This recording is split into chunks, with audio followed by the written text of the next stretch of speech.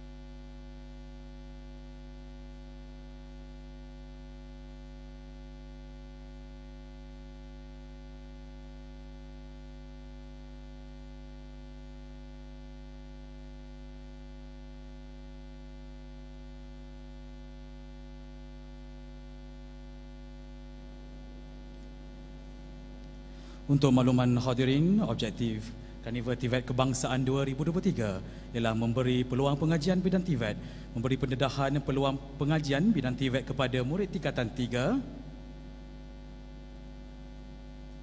dan juga memberi pendedahan laluan kerjaya bidang TVET, memberi pendedahan peluang-peluang dan laluan kerjaya bidang TVET kepada murid lepasan SPM dan belia. Dan juga untuk makluman hadirin, objektif Karnival TVET Kebangsaan 2023 memaksimumkan potensi guru dan murid memaksimumkan potensi guru dan murid melalui peningkatan kualiti PDPC, guru, pensyarah melalui budaya kajian, inovasi dan perkongsian amalan terbaik.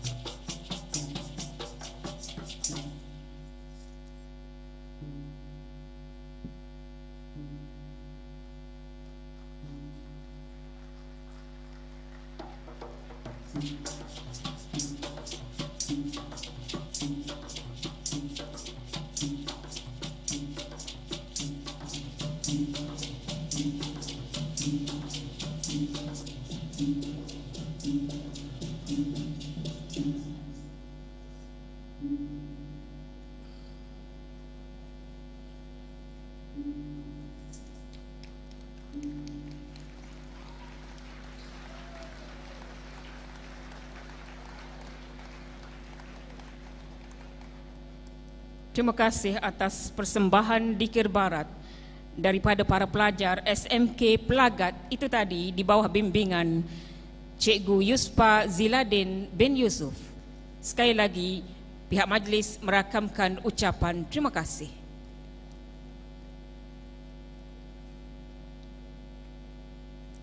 Hadirin sekalian, kalau tidak kerana bulan, tidak bintang terbit tinggi. Kalau tidak kerana Tuan, tidaklah majlis sehebat ini. Seterusnya, majlis dengan segala hormatnya menjemput dan mempersilakan Yang Berusaha Tuan Haji Syafruddin bin Haji Ali Husin, Timbalan Ketua Pengarah Pendidikan Malaysia, Sektor Pembangunan Profesionalisme, Kementerian Pendidikan Malaysia untuk menyampaikan ucapan penutupan Karnival TVET Kebangsaan dan Hari Terbuka Pejabat Pendidikan Daerah Besut 2023. Dipersilakan Tuan.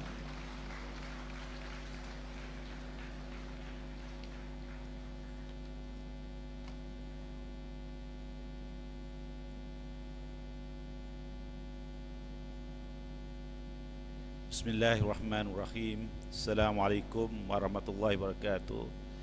Uh, salam Malaysia Madani, salam ABC.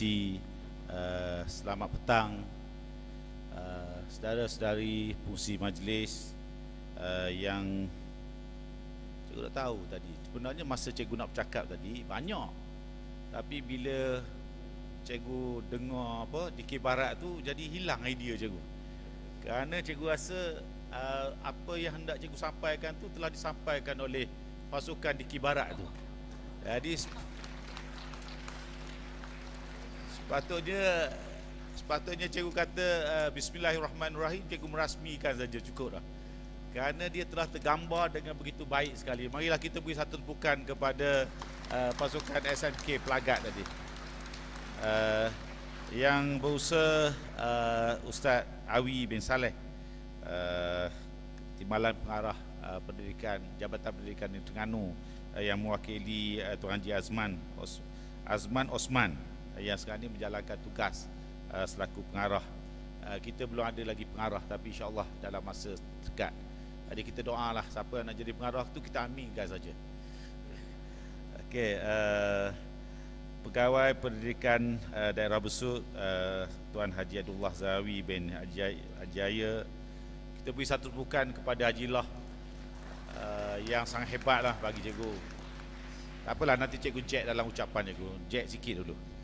Uh, pengarah uh, IPGK uh, Sultan Mizan uh, Dr. Hamad bin Rahim uh, pengarah uh, Politeknik Besut yang diwakili tadi uh, pegawai uh, daerah besut yang diwakili oleh Cik Suhaimi bin Isa penghulu uh, Mungkin Keluang uh, dok kita apa lagi uh, wakil apa ni sahabat cikgu pengetua uh, mewakili YDP MPSM Rusaidi uh, Dr Norita uh, pengarah IPGK uh, Datuk Datuk Razali.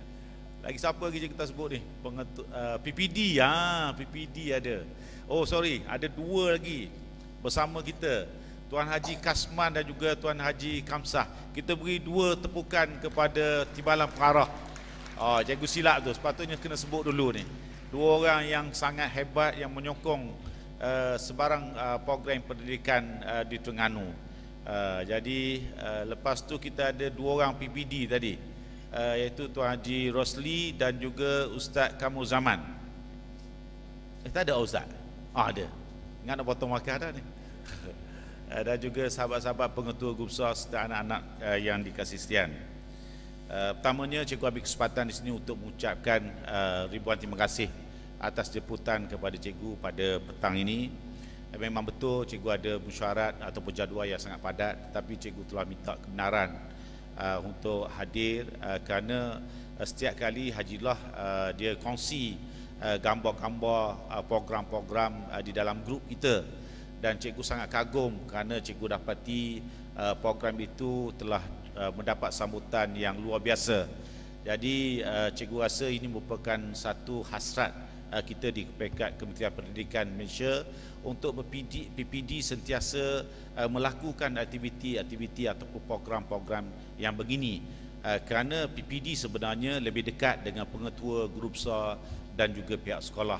Jadi apabila PPD mengadakan program yang begini, maka kita dapat menunjukkan banyak perkara kepada komuniti terutamanya tentang program-program dan juga aktiviti yang telah kita laksanakan. Jadi cikgu percaya uh, di PPD Kuala Nerus dan juga PPD Hulu Terengganu ataupun di PPD lain pun juga uh, kita telah melakukan perkara yang sama. Tetapi uh, cikgu nampak program yang diadakan di Besuk ini uh, sangat hebatlah uh, kerana dia telah berjaya menggabungkan uh, banyak pihak dan juga memilih tempat yang sangat sebenarnya cikgu nak hadir. Jadi setiap kali cikgu lalu ke Besut cikgu tertanya-tanya apakah ada dalam politeknik ini? Uh, dan hari ini apabila Ajilah jemput cikgu untuk hadir maka cikgu kata oh, ini kesempatan untuk cikgu masuk dalam politik politeknik. Kerana cikgu tidak ada sebab untuk masuk. Uh, kerana politeknik di bawah KPT uh, tetapi dengan uh, apa ni keputusan yang dibuat oleh Hajilah uh, kita uh, menggunakan uh, majlis ataupun tempat ini di di sini maka kita boleh menggunakan kemudahan itu. Dan alhamdulillah cikgu melihat struktur ataupun situasi ataupun lokasi politeknik ini sangat menarik. Dan lebih-lebih lagi dalam dewan yang sangat hebat ini. Bayangkanlah kalau kita boleh dewan ini di setiap sekolah kita yang mempunyai murid yang lebih pada seribu seribu orang. Alahkan nikmatnya. Eh, tapi itu pandangan pribadi ya jangan kok eh. itu pandangan pribadi itu impian lah. Eh, kalau kita dapat dewan macam ni untuk sekolah yang muridnya lebih pada seribu maka cikgu rasa memang sesuai lah untuk aktiviti-aktiviti itu. Wali walau bagaimanapun eh, Kementerian Pendidikan Malaysia sedang berusaha. Yang terbaru kita sedang uh, memperbanyakkan dewan-dewan terbuka uh, untuk kegunaan sekolah dan ianya telah bermula zaman cikgu jadi pengarah uh, hari itulah uh, kerana hasrat kita untuk mem mem uh, memastikan sekolah mempunyai tempat untuk uh, berkumpul dan pada masa sama boleh membuka ruang kepada komuniti uh, untuk masuk ke sekolah kerana polisi kita ialah untuk memasyarakatkan sekolah itu. Balik kepada uh, uh, program kita. Uh, cikgu tahu uh, program yang dijalankan ini telah mendapat uh, sambutan yang luar biasa uh, kerana cikgu difahamkan uh, penyertaannya melibatkan uh, seluruh negara. Uh, jadi uh, tadi cikgu berkesempatan untuk melihat kek-kek yang dipamerkan tadi uh, daripada uh, uh, apa perbuatan uh, anak-anak kita dan tuan-puan boleh lihat sendiri bagaimana uh, mereka begitu kreatif sekali uh, dalam menghasilkan kek-kek yang dipamerkan itu. Jadi kita beri satu tepukan uh, kepada anak-anak kita. Apabila kita bercakap tentang TVET ini tuan-puan, uh, kita sebenarnya uh, pada masa cikgu jadi pengarah dulu, uh, cerita lama lima tahun, tu gambar cikgu lah ambil gambar lima tahun dulu. Jadi cikgu pun heran masa apa dia ambil rambut. Jadi kalau banding rambut cikgu sekarang ni, memang hilang lah eh. Okay.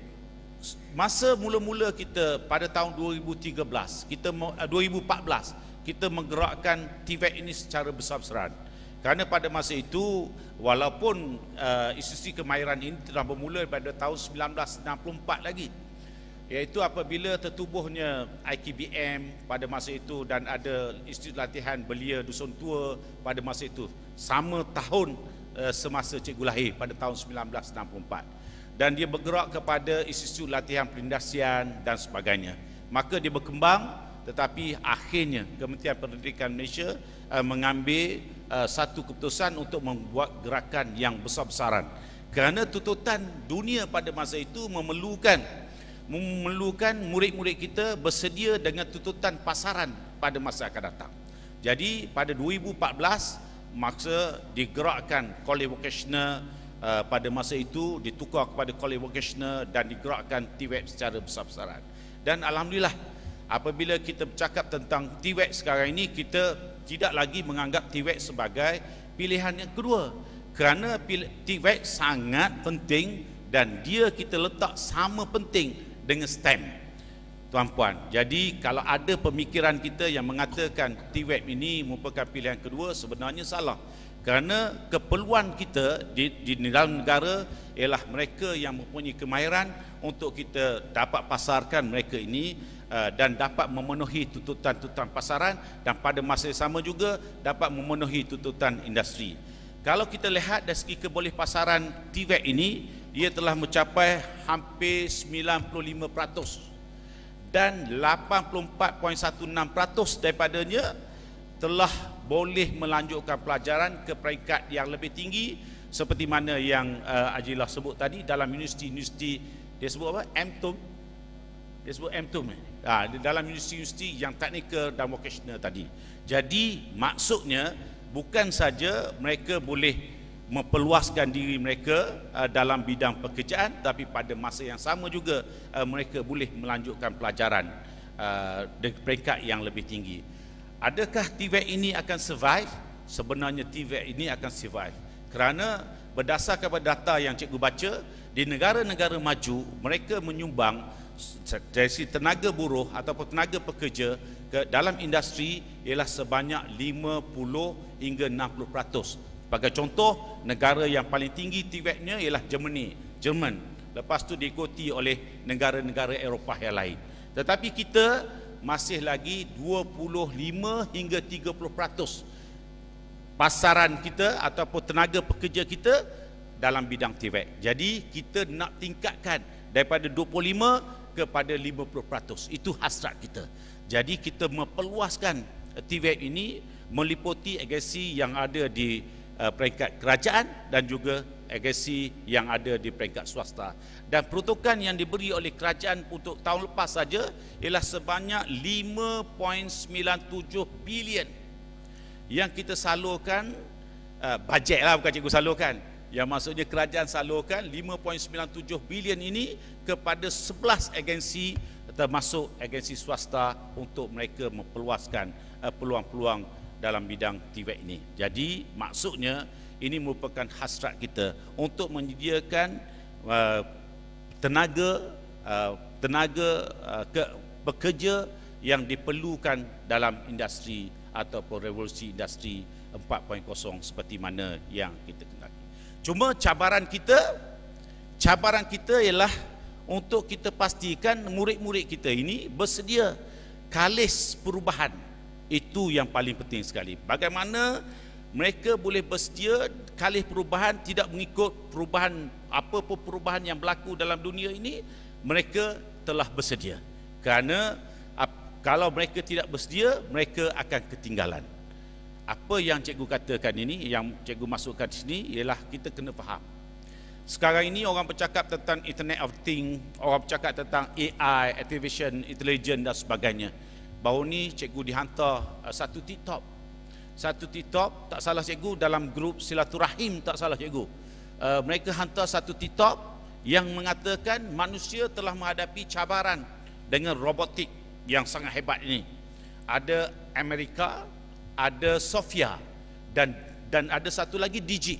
Dia kata tiga AI ini, robotik ini telah mempunyai ke, kebahiran atau keupayaan dan telah dimasukkan juga emosi uh, ke dalam robot uh, ataupun AI yang terkini ini.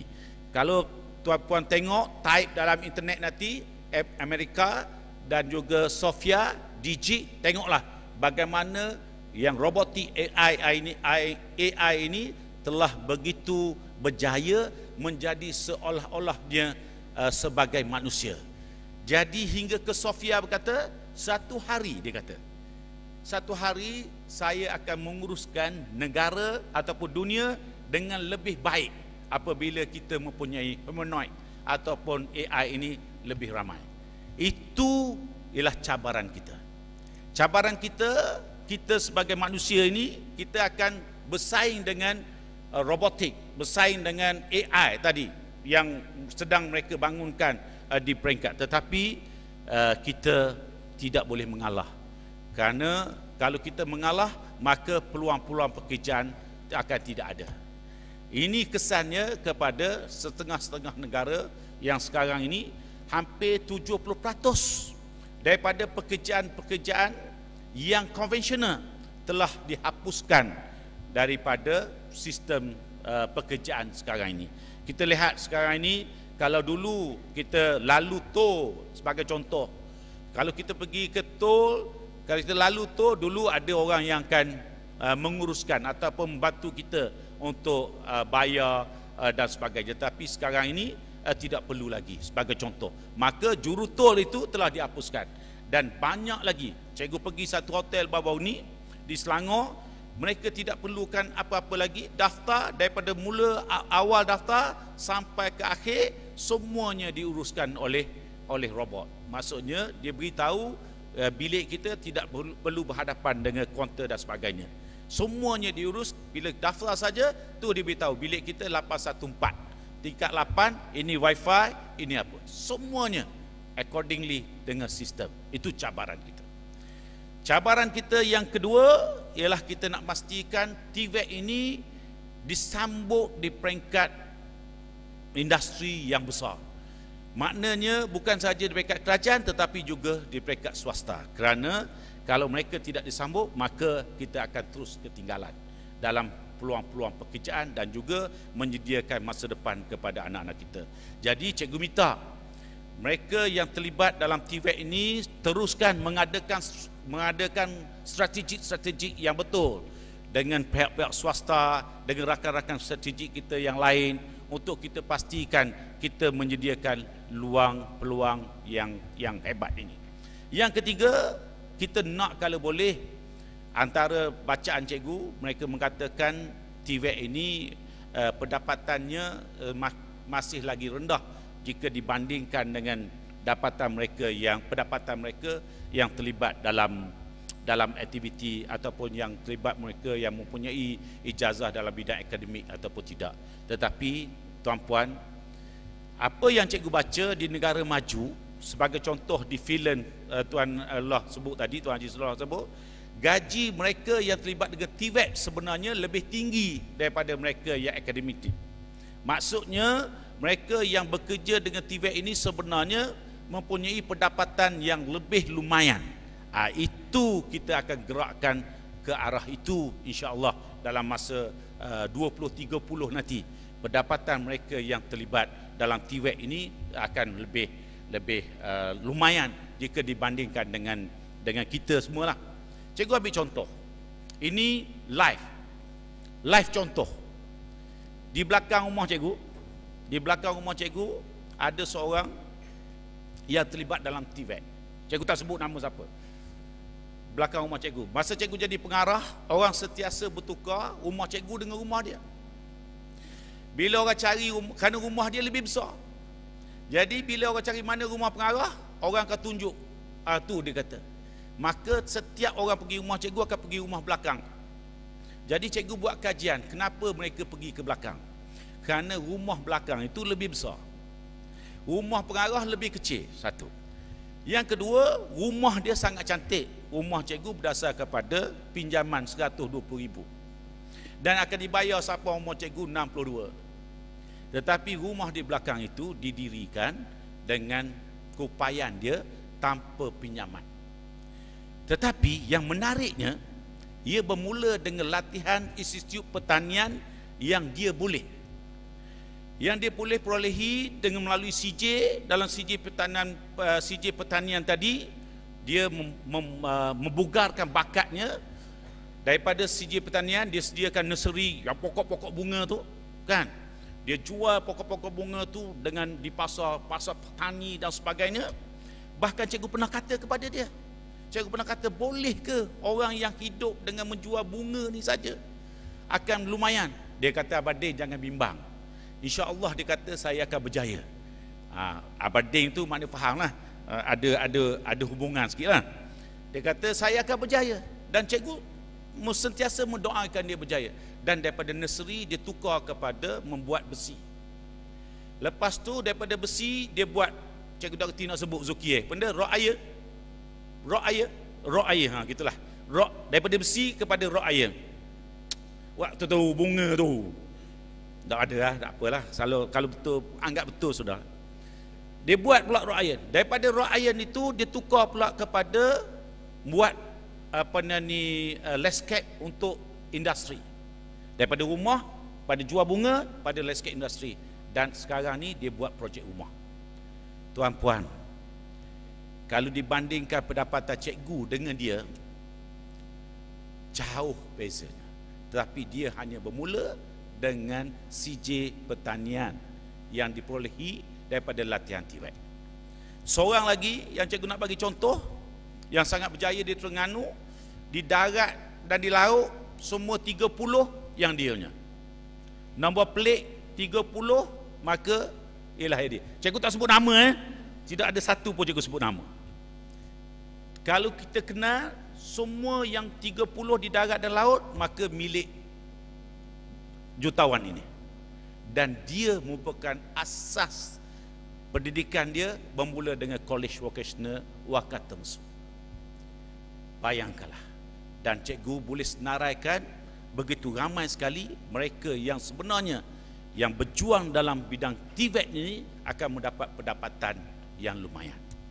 Akan dapat mengusahakan usahawan-usahawan yang yang menjadi usahawan-usahawan yang sangat hebat. Jadi kepada anak-anak jangan menganggap apa yang kita belajar di sekolah ini sebagai satu ilmu yang akan berhenti Cikgu minta supaya ilmu yang kita peroleh ini dipergunakan. Baru ni cikgu baca dalam satu media sosial berusia 11 tahun berusia 11 tahun tetapi telah memperoleh pendapatan 17,000 sebulan kerana menjual kek-kek. Menjual kek tu secara kecil-kecilan di sekolah bila dia balik daripada sekolah ataupun dalam sekolah dengan menggunakan media sosial. Ber, pendapatan dia 17 ribu sebulan. Tuan-puan anak-anak kita. Jadi TVET ini merupakan masa depan kita. Jadi cikgu nak Kalau boleh katakan jangan kita buat keputusan apabila kita tidak boleh masuk ke jurusan akademik atau jurusan lain barulah kita memilih untuk masuk ke TVET. Tidak salah untuk kita membuat keputusan yang lebih awal untuk pastikan kejayaan TVET kita berkembang seperti mana yang kita kendaki. Yang keempat, cabaran kita ialah untuk menjadi lebih kreatif. Kerana budaya kita, kita akan melakukan kerja yang sama. Katakan trend kita di Malaysia ini, kalau katakan kita jual nasi lemak, maka orang akan buka nasi lemak.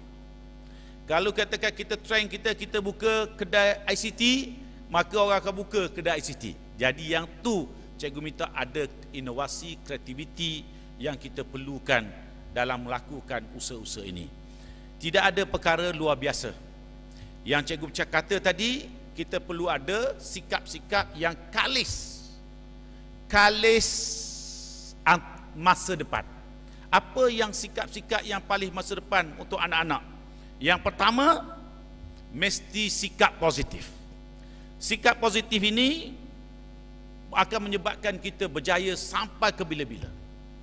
Tanpa sikap yang positif, kita tidak akan berjaya. Percayalah, sikap positif ini akan membawa kita ke satu tahap yang lebih tinggi. Yang kedua, kita mesti ada disiplin yang yang tinggilah, disiplin yang tinggi. Tadi dalam bercakap dengan Ustaz Awi, Haji Kamsah, Haji apa ni Kasman tadi cikgu baca apa ni sempat melihat sempat melihat Li Zijia kalah suku akhir tadi. Kalah pula set ketiga 22 20. Kalah. Set ketiga kalah 22 eh kalah 20 22 lah kalah. 20 22 dan semua pengulas mengatakan sepatutnya Lizia menang. Tetapi Lizia tidak pada masa ini tidak mempunyai kekuatan metal bukan dia salah tapi kekuatan metal dia. Jadi begitu juga kita. Disiplin diri ini mesti ditanam bersama dengan kekuatan metal yang kita resilient yang kita telah belajar daripada pandemik COVID 2019 baru ini pandemik 2019 COVID tadi telah mengajar kita tentang bagaimana ketahanan supaya kita tidak berputus asa. Jadi begitu juga kemahiran-kemahiran yang perlu ada kepada anak-anak. Dan yang yang ketiga, sikap yang perlu ada dalam diri anak-anak untuk belajar TVET ini kerana tadi adalah Cikgu Allah juga kata pembelajaran TVET ini sepanjang hidup. Yang perlu ada ialah istiqamah kita mesti secara beristiqamah berterusan bersungguh-sungguh beriktizam untuk melakukan suatu benda hinggalah kita berjaya. Cikgu doakan semua yang ada dalam dewan ini semua berjaya mencapai cita-cita dan impian dia. Kepada cikgu-cikgu sentiasalah lihat potensi yang ada kepada anak-anak murid kita. Kita tidak tahu, kita tidak tahu apa yang mereka nak jadi tetapi kita mesti sentiasa memberi harapan kepada anak-anak kita supaya mereka satu hari akan berjaya dalam hidupnya. Kalau ibunya, kalau ibunya seorang nelayan dulu, maka kita mengharap, memberi harapan kepada mereka supaya mereka menjadi nelayan laut dalam. Kalau katakan dia sebagai seorang peniaga kecil-kecilan, maka kita doakan potensi yang ada pada diri dia ialah usahawan yang berjaya. Maksud cikgu ialah kita mesti sentiasa memberi harapan yang dia akan lebih baik daripada ibu bapanya. Maka barulah kita akan bercakap tentang berjaya mewujudkan negara maju. Jadi guru-guru di tangan kita. Di tangan kita ialah tangan yang sangat penting pekerjaan kita merupakan pekerjaan yang sangat mulia yang akan mencorakkan anak-anak kita dan pada masa yang sama kita nak berjayakan hasrat ini iaitu melahirkan generasi madani. Jadi generasi madani yang sekarang ini yang kita terapkan di sekolah ialah anak yang baik lagi cerdik. Kita nak anak-anak kita baik baik dulu maka barulah dia cerdik. Barulah kita boleh membentuk masyarakat generasi madani yang seperti mana kita hasratkan. Jadi sekali lagi kita beri satu tepukan kepada dan terima kasih dulu kepada Politeknik kerana memberi tempat yang begitu hebat ini. Terima kasih. Uh, kita harap ini bukan kali yang uh, yang ke terakhir kita akan bersada sini. Ucapkan sabar dan tahniah uh, kepada PPD Besut. PPD Besut kerana telah berjaya uh, menganjurkan program ini dan juga kepada GPN yang sentiasa menyokong serta IPG Sultan Mizan uh, satu lagi benda tadi tak ingat lah. Pada hafal belaka dah cikgu. Satu lagi apa tak ingat dah. Okeylah tu semua sekali lah tu. Eh? Uh, kerana cikgu percaya rakan-rakan strategi ini sangat penting kepada kita. Akhir sekali, akhir sekali sungguh. Tadi cikgu pergi ke sekolah SMK Saujana. Secara kebetulan pengetua dia suruh cikgu masuk ke kelas STEM dia. STEM. Uh, makma sains. Uh, pelajar-pelajar tingkatan 3 sedang buat uh, research, buat penyelidikan macam-macam. Ada lima kumpulan yang bentang apakah produk yang dihasilkan. Produk itu semuanya menggunakan herba, menggunakan herba bahan-bahan yang terbuang dan sebagainya. Dan dia mereka menghasilkan begitu banyak sekali inovasi dalam lima kumpulan itu. Satu kumpulan confident membentangkan kepada cikgu dalam bahasa Inggeris. Empat lagi sangat confident masa membentangkan dalam bahasa Melayu. Itu yang cikgu kata. Jadi cikgu dia duduk di belakang cikgu dia backup dia cikgu dia duduk di belakang backup dia untuk budak-budak tu membentangkan kepada cikgu dengan begitu confident sekali. Cikgu cikgu tak kisahlah dia menggunakan bahasa Terengganu kerana cikgu pun kadang-kadang tubik juga bahasa Terengganu kerana cikgu orang Terengganu kan. Tak ada masalah. Tetapi yang cikgu nak ialah keyakinan dia tu.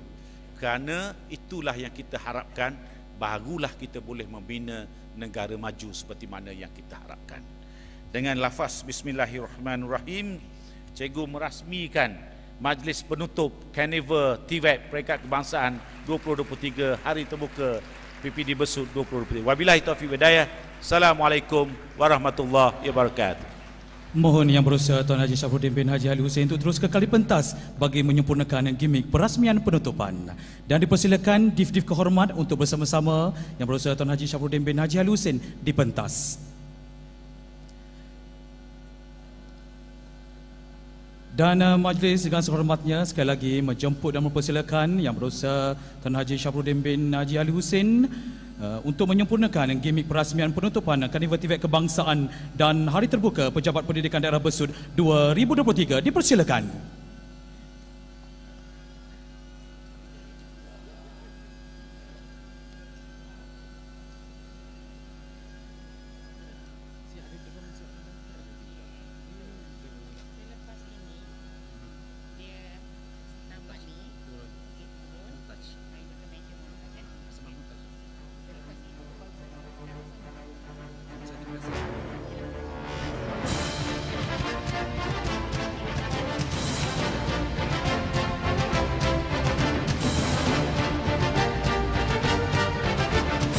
Untuk makluman hadirin, simbolik gimmick pada petang ini menunjukkan tiga ikonik yang terdapat di daerah Besut iaitu Bukit Bubus, Bukit Keluang dan Politeknik Besut Terengganu. Ketiga-tiga lokasi ini mempunyai keistimewaan tersendiri di mana Bukit Bubus melibatkan aktiviti paragliding dan Bukit Keluang melibatkan aktiviti hiking juga Politeknik Besut merupakan pusat pengajian tinggi. Dan simbolik paragliding yang kita saksikan sama-sama ketika ini adalah turun dari Bukit Bubus ke Politeknik yang merupakan salah satu acara Karnival TVET Kebangsaan 2023.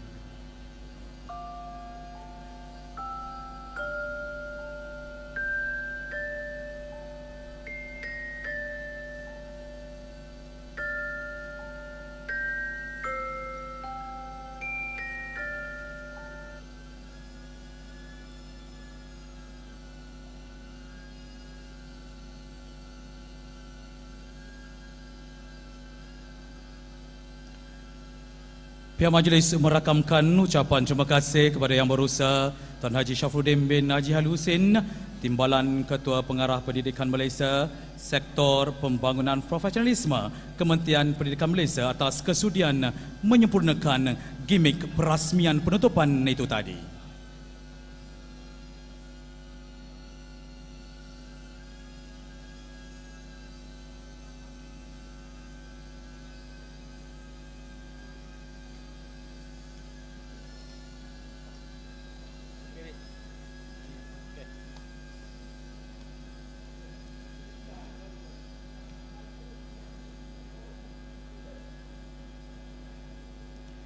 Seterusnya adalah persembahan montaj.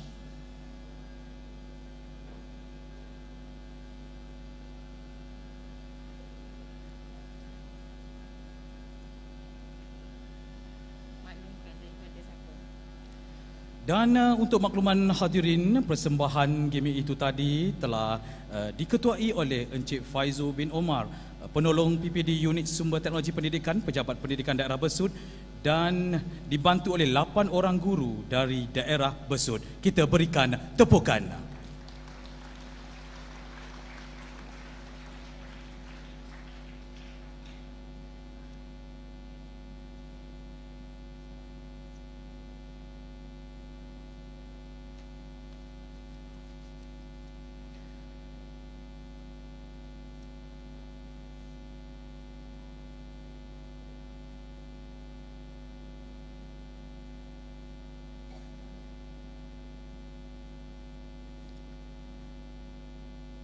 Dan uh, objektif uh, Karnival TVET Kebangsaan 2023 merupakan uh, mengukuhkan pelibatan uh, ibu bapa dan komuniti dalam perkembangan bidang TVET melalui kolaboratif dan institusi TVET yang terdekat. Dan juga objektif Karnival TVET Kebangsaan 2023 membina program jaringan kepakaran dengan agensi, industri dan pihak majikan dan institusi yang dapat memberi ruang pengajian dan kerjaya kepada murid dan juga belia. Hadirin sekalian, sekarang kita saksikan persembahan montaj Karnival TVET Kebangsaan 2023 dan Hari Terbuka Pejabat Pendidikan Daerah Besut.